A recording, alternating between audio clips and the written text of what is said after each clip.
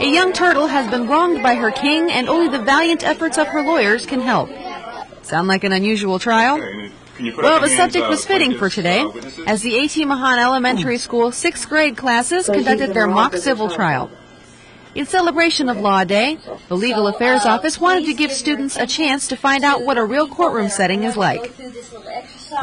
We wanted the sixth graders to experience um, doing a trial, and actually it was a mock trial uh, from the Dr. Seuss's book, uh, Yertle, the, Yertle the Turtle. So um, what it was is that we wanted the kids to be able to know the mechanics of how a jury trial works and how jurors actually function, you know, as in a unanimous board. So. Students from the sixth grade classes were given parts to play for the plaintiff and the defense. Both sides had an advisor from the Legal Affairs Office as their coach. The judge was played by Lieutenant John Ward. After each side made their opening remarks, the plaintiff began to make their case. Did you know why he wanted everybody to get on a stack of turtles? Yeah. Yeah, was it? Both sides asked the witnesses questions, keeping with the procedures of a real courtroom.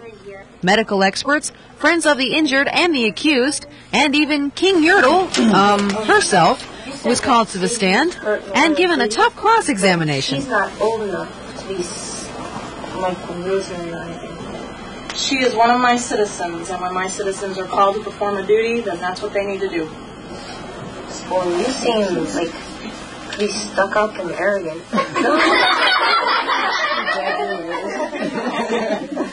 so, Finally, both sides made their closing arguments, and the jury was given their final instructions and dismissed. While the jury was deliberating, Lieutenant Ward fielded several questions from the students about the field of law. Lieutenant Ward and Petty Officer Hartford were both impressed by the range of questions the students had.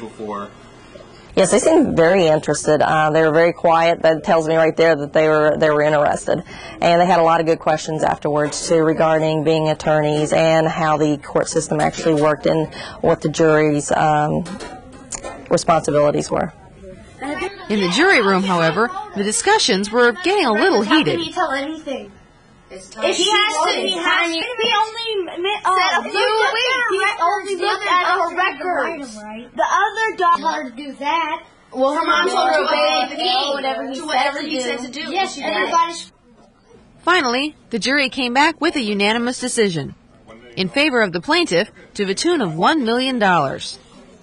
The students playing the roles in the mock trial found the job a unique challenge that they really enjoyed.